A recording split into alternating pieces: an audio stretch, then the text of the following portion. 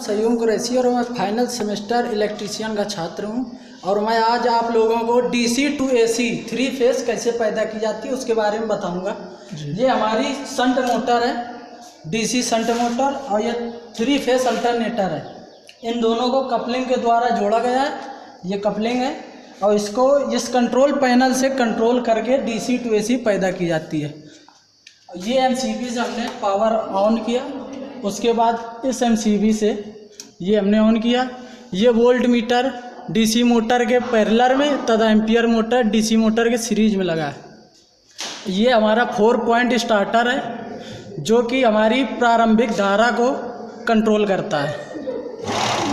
ये मोटर चलने लगी। सबसे पहले कुछ देर इसको पहले पॉइंट पे रखते हैं, उसके बाद इसको डायरेक्ट दूसरे पे, फिर डायरेक्ट फाइनल पे कर देते हैं। उसके बाद ये अल्टरनेटर हमारा यहाँ से थ्री फेस एसी सप्लाई मिलने लगती है।